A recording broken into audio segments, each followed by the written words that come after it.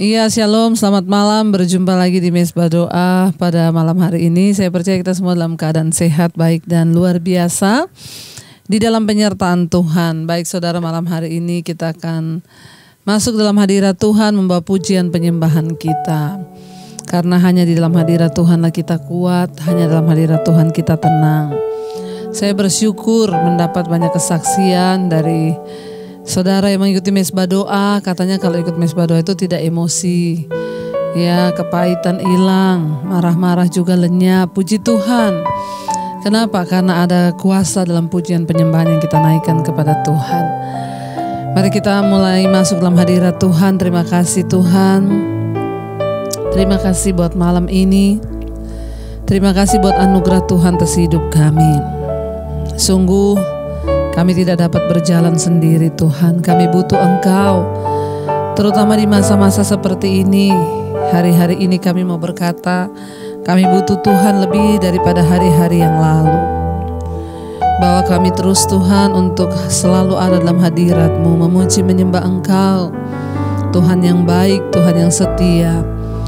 Pegang tangan kami Tuhan dan jangan tinggalkan kami. Kami tidak dapat berjalan tanpa Tuhan tanpa penyertaan-Mu Bapa. Terima kasih Tuhan. Biarlah pujian penyembahan kami naik menjadi dupa yang berbau harum di hadapan Tuhan yang menyenangkan hatimu Tuhan Yesus. Terima kasih Yesus, Yesus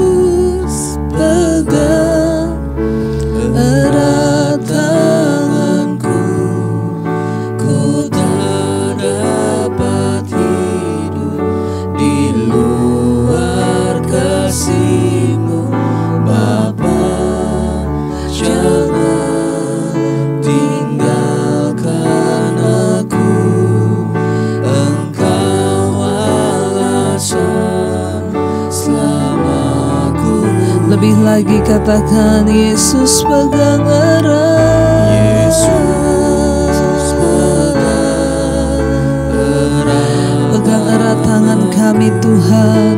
Ku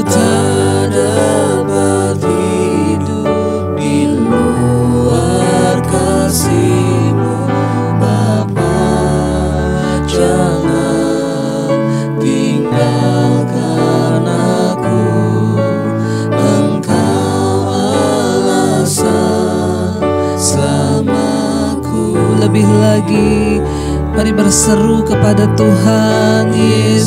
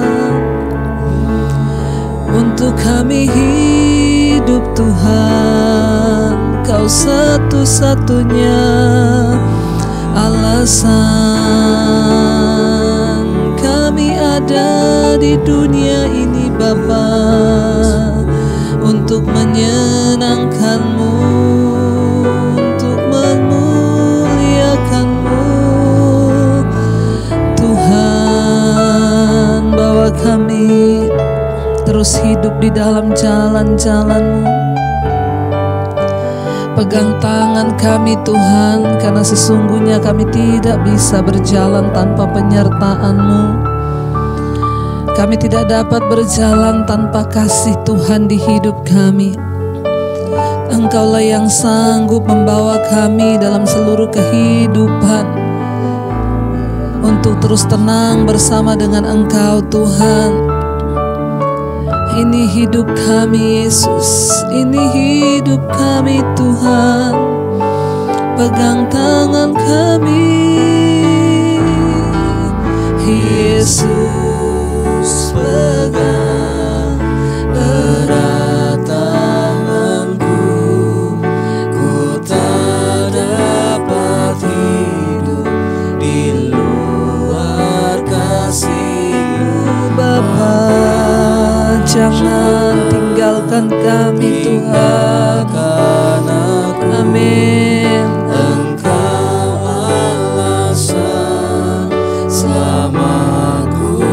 Yesus pegang erat Tuhan. Yesus pegang erat tangan Amin. Tuhan kami tidak bisa hidup di luar kasih-Mu Tuhan.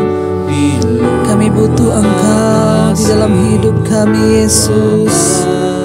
Jangan tinggalkan kami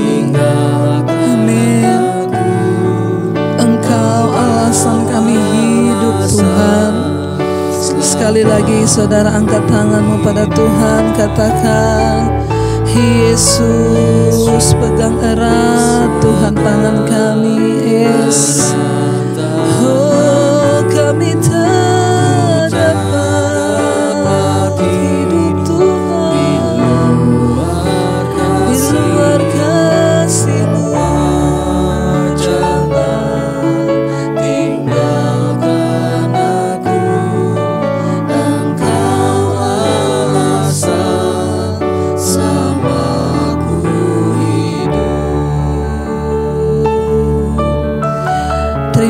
kasih Bapa, terima kasih Tuhan. Kami tahu dan percaya Engkau membentuk kami di dunia ini untuk sebuah rencana yang mulia Tuhan.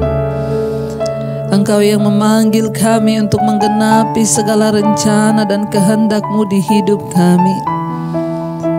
Kami tahu Tuhan dan semua rencana atas hidup kami itu tidak pernah salah.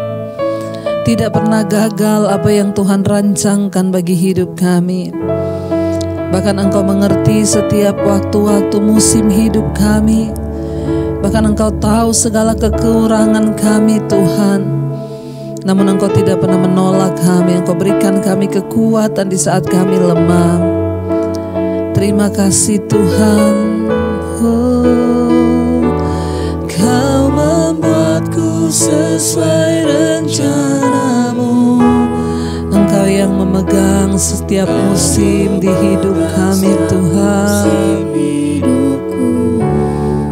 Oh, Ku serahkan semua kekhawatiranku Ku milikmu Kami percaya semua kekurangan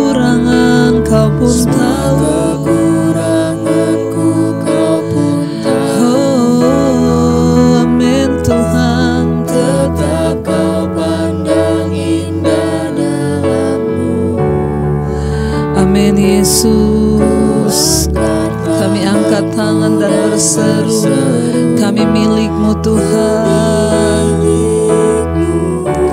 Kau membuat kami sesuai rencanamu Tuhan. Kau Membuatku sesuai rencanamu. Engkau yang pegang musim hidup kami.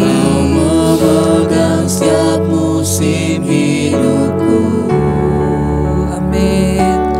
Ku serahkan semua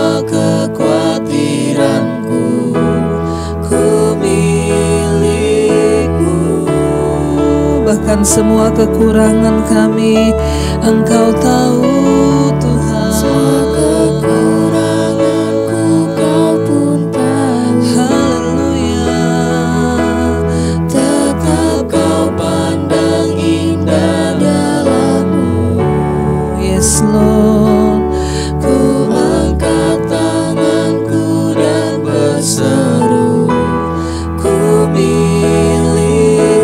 lagi saudara. Engkau yang percaya bahwa Tuhan pegang kendali Katakan Kau membuatku sesuai rencanamu. Amin Tuhan. Engkau yang pegang setiap musim di hidup kami Tuhan Yes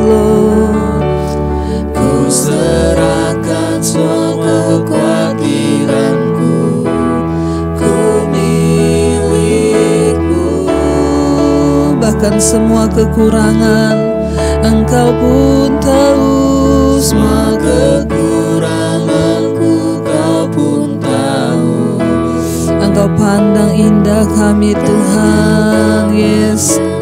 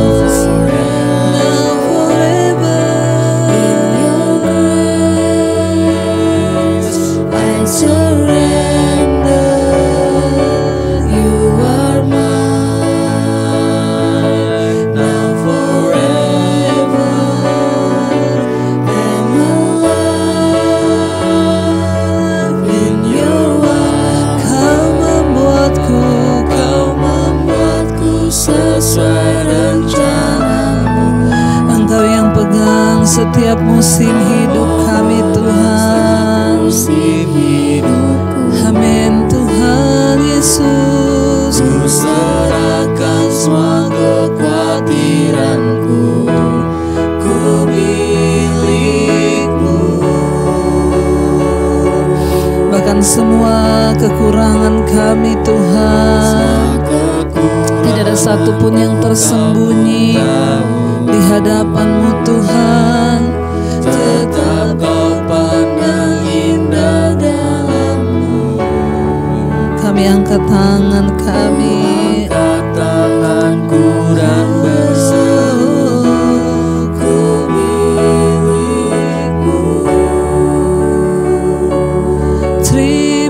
kasih, terima kasih. Kau segalanya, Engkau Tuhan Yang pegang kendali atas hidup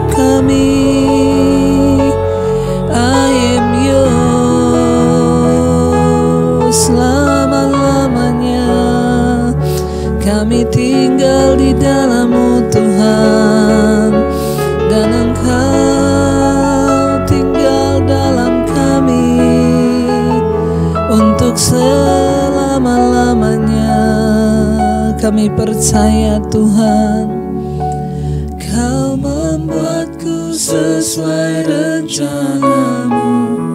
Amin. Mari datang pada Tuhan. Kau Katakan kami tahu Engkau yang pegang setiap musim hidup kami Tuhan. Ku serahkan Serahkan seluruh kekhawatiranmu pada Yesus saat ini saudara. Kita adalah miliknya Dan dia adalah milik kita.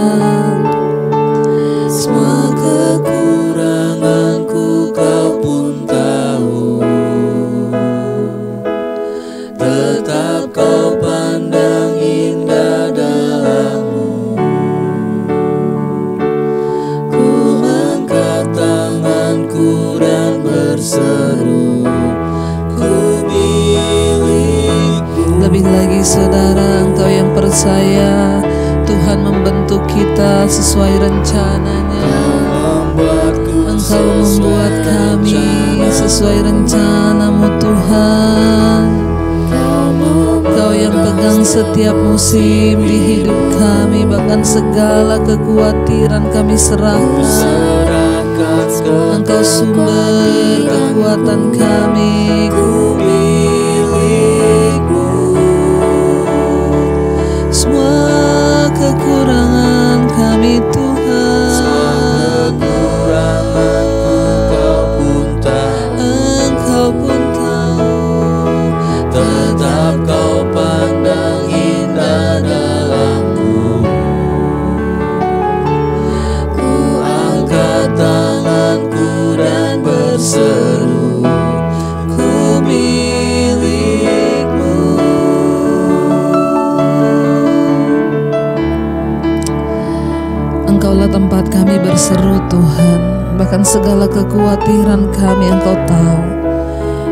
kekurangan kami. Engkau tahu Dan Engkau datang memberikan kekuatan kepada kami yang berserah. Engkau tahu saat kami takut Engkau tahu saat kami bimbang Engkau tahu saat kami khawatir. Engkaulah sumber pengharapan dan kekuatan di hidup kami Tuhan. Karena itu kami mau terus berharap hanya kepada Yesus. Kami mau terus berharap hanya kepada Engkau Kepada namamu saja Kami mau terus berharap ya Tuhan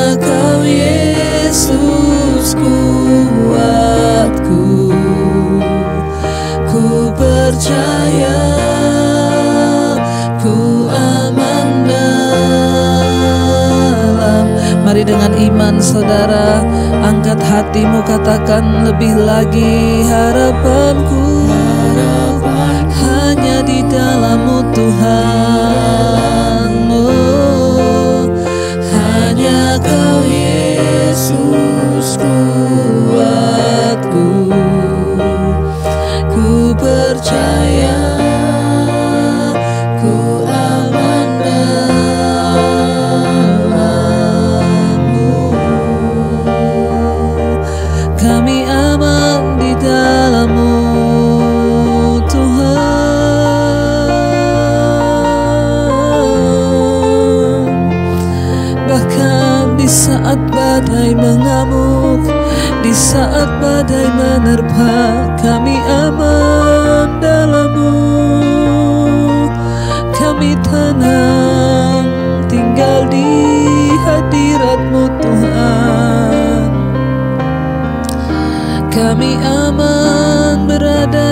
dekatmu Harapanku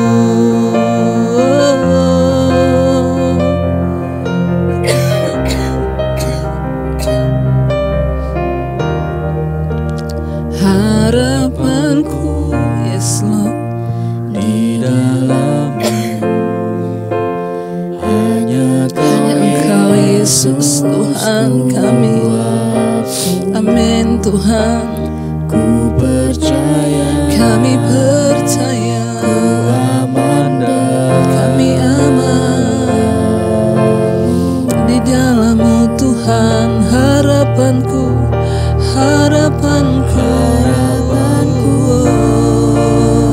Di dalam Di dalammu. hanya kau Yesus. Hanya Engkau Yesus sumber kuat kami. Terima kasih Tuhan. Percaya. Kami percaya Kami aman hanya di dalammu Sekali lagi katakan Harapan kami di dalammu Tuhan. Harapanku Yes Di dalammu. Hanya kau Yesus kuat Kami percaya kami aman Tuhan.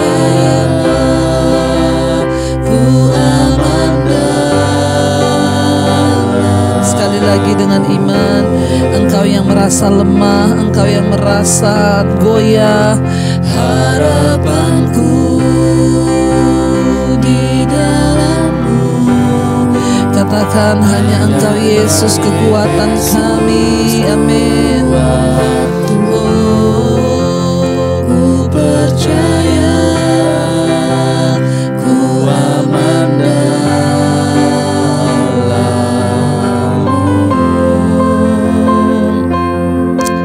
Tidak ada tempat lain untuk kami datang, untuk kami berharap.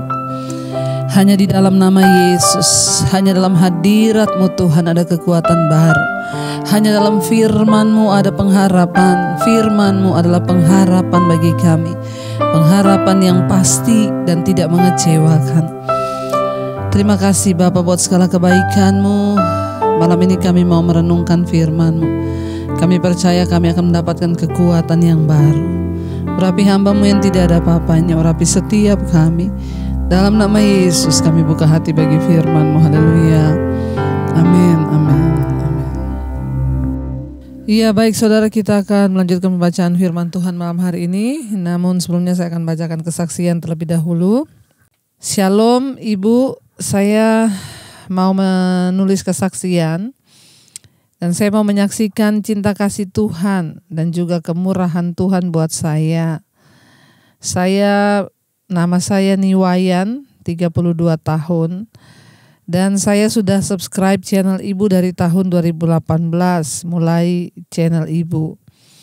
Ya, bahkan tante saya dan teman-teman adik saya juga saya bagikan supaya dapat khotbah Ibu. Hanya saya dan adik saya dan tante saya yang sudah percaya pada Tuhan Yesus. Saya mau bersaksi Bu, ya bulan lalu saya divaksin Sinovac. Beberapa hari setelah vaksin saya sempatkan mendengar mesbah doa dan mesbah syukur. Saya bahkan juga saya bahkan juga sudah menyiapkan surat wasiat jika sesuatu terjadi pada saya. Waduh ya.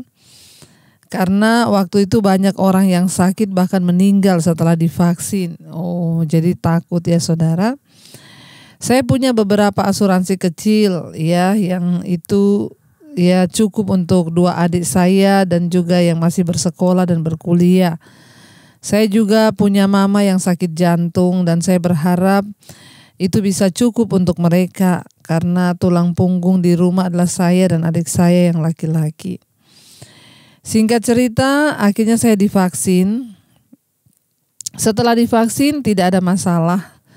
Namun keesokan harinya saya mulai demam.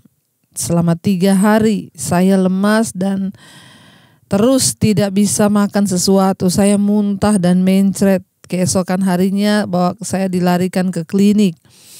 Lalu saya disuruh tes dan ternyata saya kena tifus dan juga DBD. Dan trombosit saya saat itu hanya 10 ribu.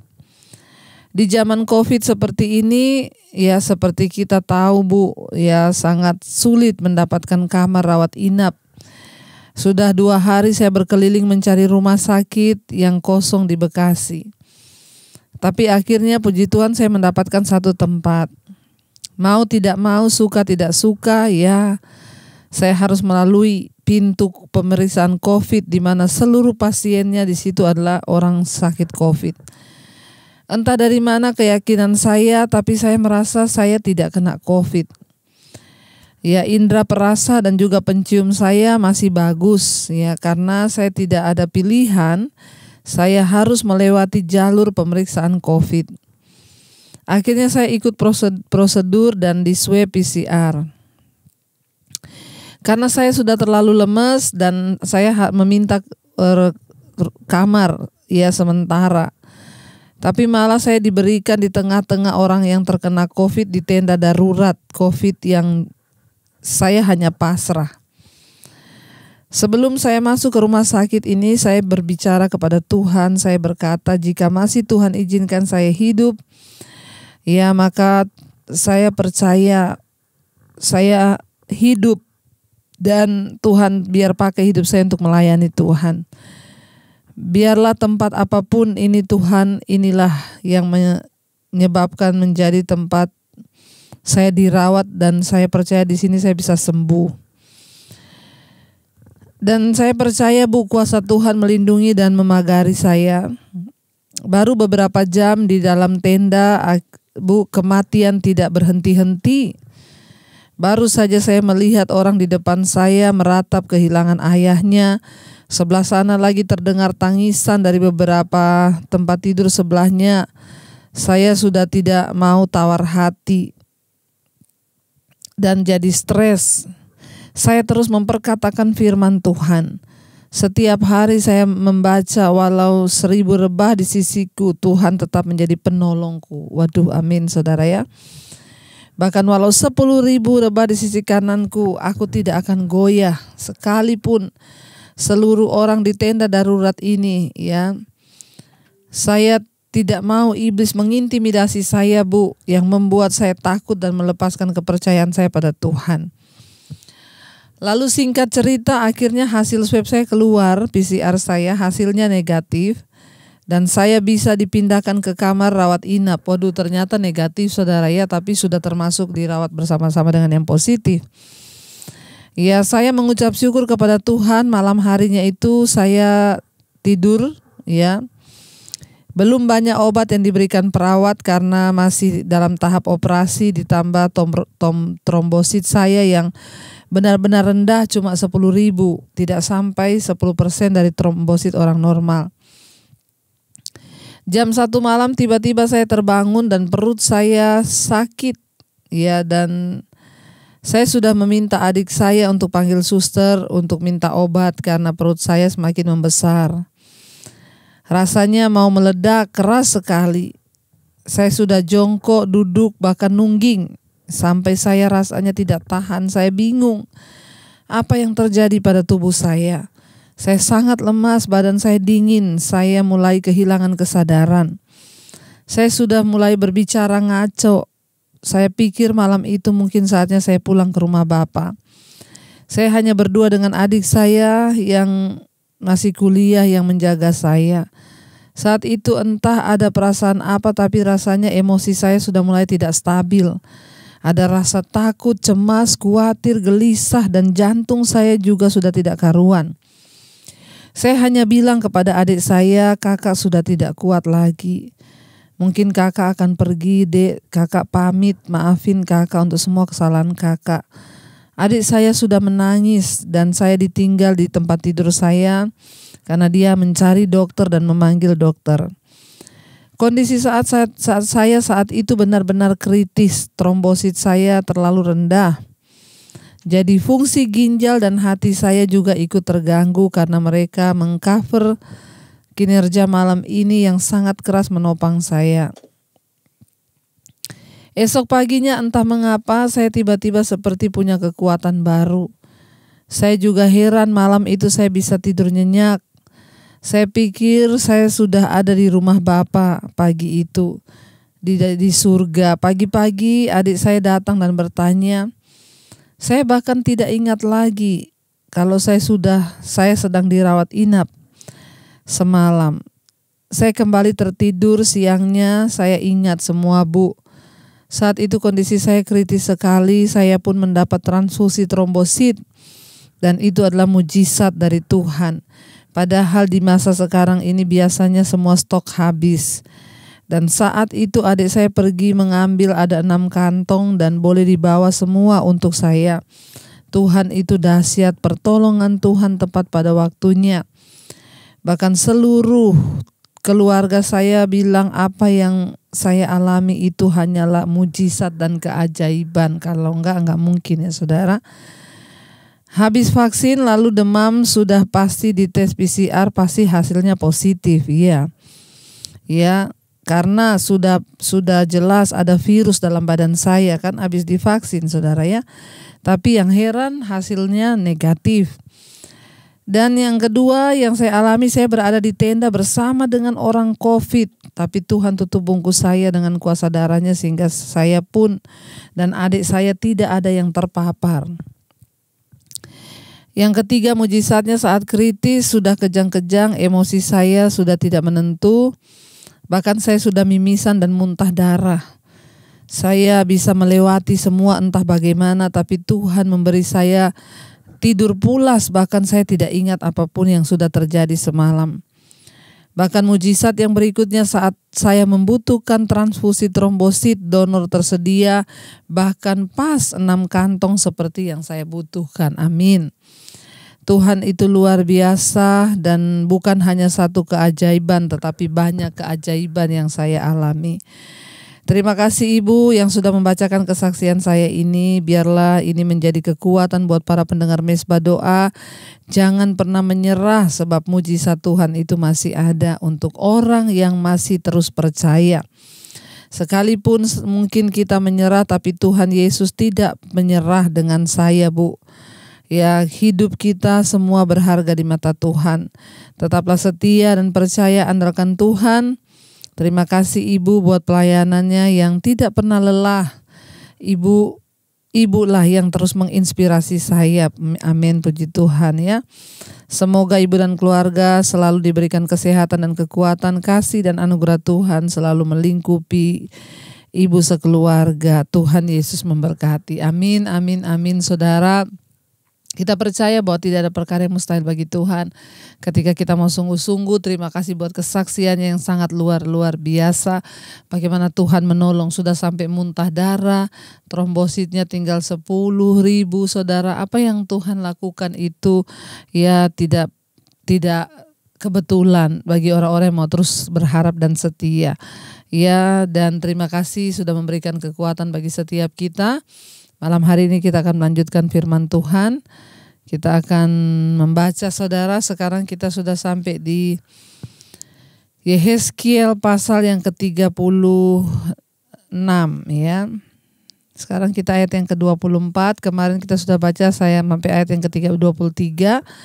Kita melihat Tuhan mengulangi mengapa dia menghajar bangsa Israel karena mereka menghina kekudusan Tuhan. Mereka tidak menjaga nama Tuhan yang kudus itu. Ya, dan mereka berbuat sesuka hati mereka bahkan di tanah bangsa-bangsa lain mereka menajiskan nama Tuhan.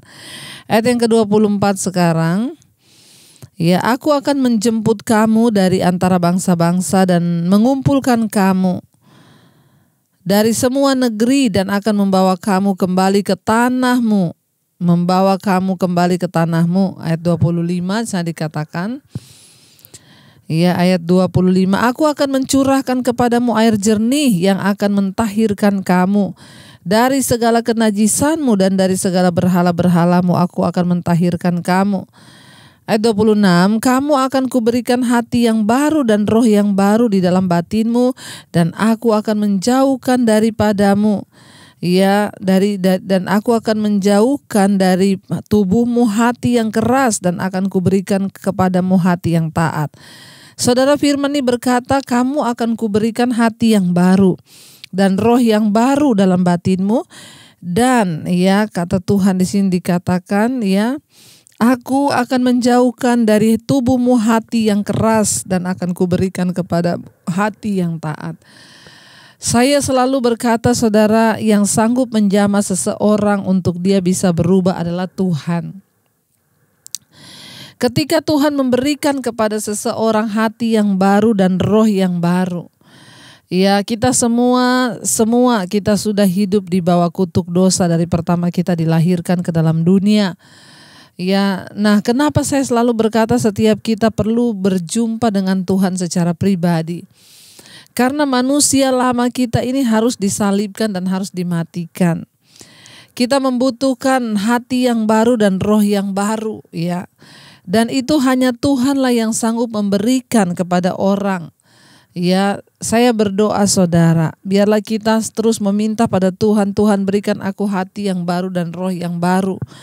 Dan Tuhan berkata, aku akan menjauhkan dari tubuhmu hati yang keras, ya dan aku akan memberikan kepadamu hati yang taat. Kita harus meminta kepada Tuhan, saudara. Minta kepada Tuhan agar suamimu diberikan hati yang baru dan roh yang baru. Agar anak-anakmu juga diberikan hati yang baru dan roh yang baru. Agar mereka sungguh-sungguh bertobat di dalam jalan-jalan Tuhan. Ya, minta pada Tuhan. Tidak ada perkara yang mustahil. Ketika kita mau meminta, maka Dia Tuhan yang akan memberikan ketika kita berseru kepadanya, saudara. Ya, kalau Tuhan yang memberikan seseorang hati yang baru dan roh yang baru, ya dan dijauhkan dari hati yang keras dan diberikan hati yang taat, itulah yang menyebabkan kita ini bisa hidup dalam perkenanan Tuhan.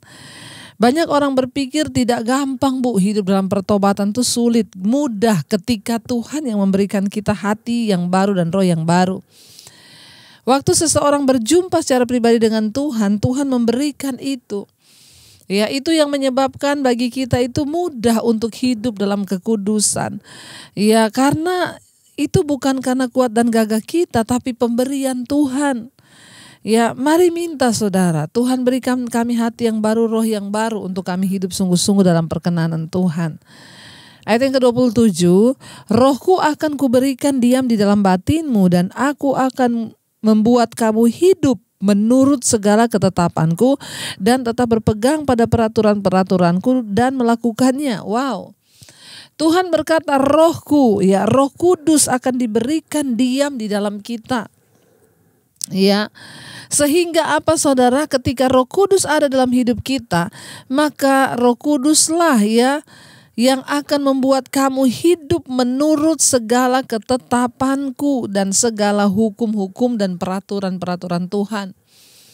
Siapa yang mengerjakan di dalam kita ketaatan itu, daging kita ini tidak mungkin taat, tetapi roh kudus yang diberikan kepada kita, yaitu roh Allah sendiri yang ada dalam diri kita, itulah roh yang memampukan kita untuk terus hidup melakukan firman Tuhan, untuk terus hidup melakukan jalan-jalannya, untuk kita terus hidup, saudara, mentaati segala hukum dan peraturan Tuhan.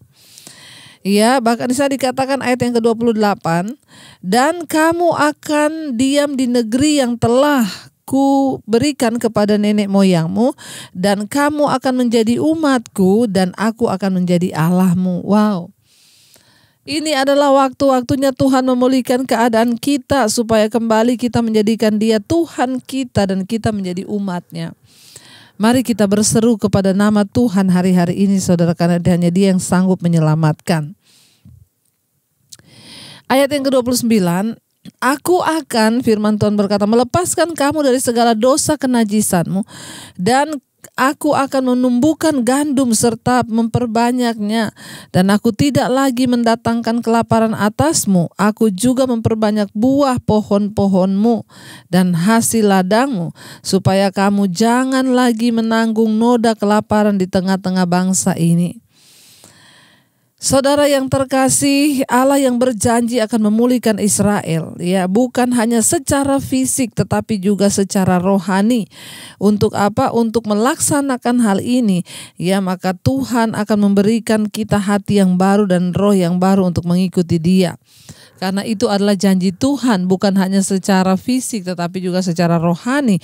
Kenapa? Karena memang pemulihan secara fisik itu akan mengikuti pemulihan secara rohani. Ketika seseorang bertobat, hatinya dibaharui, hidupnya dibaharui, barulah saudara nasibnya itu akan dibaharui.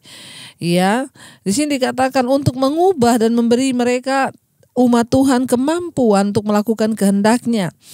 Sekali lagi perjanjian yang baru itu dijanjikan yang akhirnya akan digenapi di dalam Kristus Yesus. Tidak peduli betapa kotornya hidup Anda sekarang. Tuhan menawarkan kepada kita sesuatu permulaan yang baru.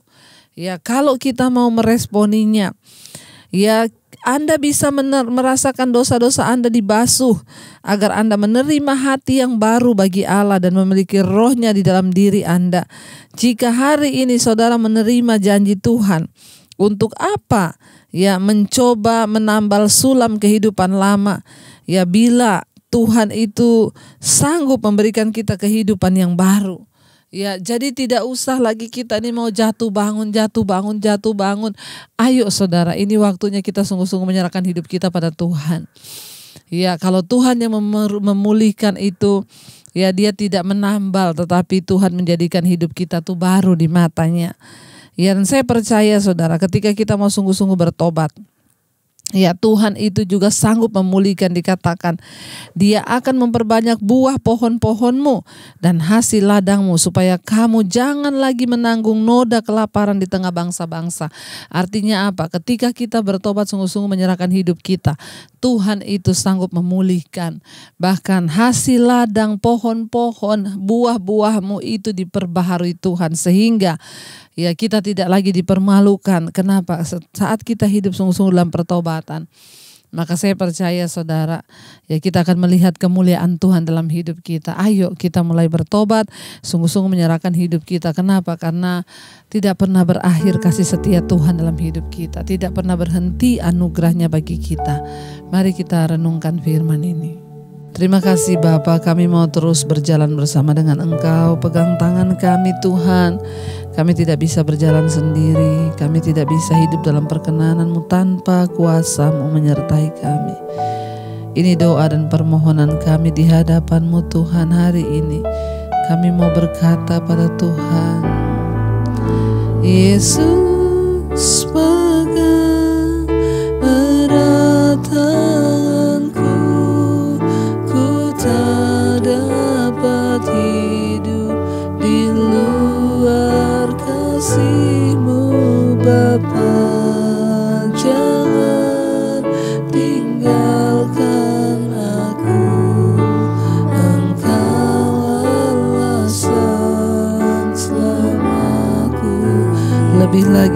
katakan Yesus pegang erat, Yesus pegang, pegang erat tangan kami Tuhan. Kami tidak dapat hidup di luar kasih-Mu Tuhan. Amin. Kami mau berjalan bersama dengan Engkau. Yes, kami mau hidup dalam pertobatan Bapa. Jangan pernah tinggalkan kami Tuhan. Amin. Engkaulah alasan dalam hidup kami Tuhan. Terima kasih Bapa, kami datang membawa keluarga rumah tangga kami, anak, istri, suami. Biarlah semua boleh hidup dalam perkenanan Tuhan. Kami tidak ingin Engkau lepaskan tangan kami, bahkan satu saat ketika kami mati, kami mati dalam keadaan benar Tuhan. Terima kasih buat setiap firman menjadi kekuatan bagi kami. Biarlah Tuhan suami menjadi suami menjadi imam dalam rumah tangga, istri menjadi penolong anak-anak hidup dalam takut Tuhan. Masa depan mereka diberkati, jodoh mereka diberkati Tuhan. Kami menyerahkan seluruhnya ke dalam tangan kasih kuasamu. Tuhan kami percaya Bapa, tidak ada perkara yang mustahil bagi Tuhan. Bawa kembali semua anggota keluarga kami yang jauh dari Engkau, kembalikan ke dalam jalan kebenaran-Mu. Kami berdoa buat keluarga besar kami Tuhan. Bagi mereka yang sedang putus asa tertekan yang dalam keadaan terhimpit. Bahkan mereka yang sudah rasanya mengalami jalan buntu Tuhan tolong selamatkan. Yang terikat dari ikatan dosa, kenajisan, percabulan, homoseksual, lesbian. Yang terikat dengan kepahitan, kekecewaan. Yang terikat dengan obat-obatan terlarang, rokok. Yang terikat dengan apa pun kami patahkan hancurkan dalam nama Yesus.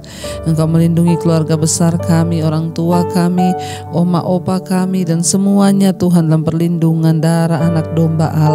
Terima kasih Bapak berkati juga setiap mereka yang hari-hari ini sedang terbaring di rumah sakit Tuhan jamah dan sembuhkan. Sakit apa pun juga berikan kesembuhan yang terinfeksi COVID kami berdoa dalam nama Yesus ada kesembuhan terjadi. Biar sistem imun kami naik karena sistem iman kami kuat. Terima kasih Bapak Engkau memberkati setiap mereka yang berkekurangan cukupkan dari kebutuhan hidupnya. Bahkan memberkati mereka yang punya rindu punya keturunan ilahi bukakan siap kandungan yang tertutup. Tuhan memberkati Bapa. Kami percaya bagi Tuhan itu sangat-sangat mudah ketika kami sungguh-sungguh percaya. Terima kasih Bapa terus memberkati Bapa untuk setiap uh, mereka yang ada di di dalam persoalan yang begitu berat hutang piutang, keadaan ekonomi keluarga, rumah tangga yang belum pulih dalam nama Yesus Tuhan jamah. Kami terus berdoa bagi bangsa kami Indonesia. Shalom Indonesia dari Sabang sampai Merauke Tuhan berikan pemulihan. Hujan pertobatan tercurah sehingga terjadi penuaian jiwa-jiwa. Berkati juga Bapak Presiden Jokowi dan wakilnya Bapak Maruf Amin. Tuhan menyertai memberkati dan kami percaya Tuhan mereka boleh menjadi orang takut Tuhan untuk membawa bangsa ini kepada perkenanan Tuhan. Lawatan Tuhan terjadi di atas Indonesia. Hujan pertobatanmu tercurah. Terima kasih Bapak. Terima kasih Tuhan. Kami terus berdoa buat TNI Polri Tuhan di dalam keutuhan mereka bekerja di atas bangsa ini semuanya boleh bekerja bagi kepentingan bangsa dan rakyat ini. Berkati semua juga yang ada di bangsa-bangsa, Tuhan memberkati para tenaga medis di mana saja. Tuhan menjadikan mereka orang-orang yang ada di garis terdepan, perlindungan Tuhan sempurna. Berkati seluruh bangsa-bangsa yang terus ikut berdoa di lima benua Asia, Afrika, Amerika, Eropa, Australia, semua mereka yang ada di atas negara-negara, Tuhan mereka menjadi Tuhan menjadikan mereka pendoa-pendoa doa yang akan membawa bangsa kotanya ke dalam tangan Tuhan. Terima kasih Bapa kami membuka hati untuk menerima berkat-Mu. Diberkatilah Engkau dalam kehidupanmu, diberkati rumah tanggamu, pekerjaanmu, keuanganmu, dan Engkau akan menjadi berkat bagi banyak orang. Terimalah kiranya berkat dari Allah Bapa, cinta kasih Tuhan Yesus Kristus, penyertaan Roh Kudus menyertai hidupmu mulai dari hari ini bahkan sampai kali yang kedua. Tuhan Yesus memberkati kita, namamu tercatat di dalam kitab kehidupan. Dalam nama Tuhan Yesus yang percaya diberkati Tuhan katakan bersama. Amin, amin. Tuhan memberkati, Shalom dan Immanuel.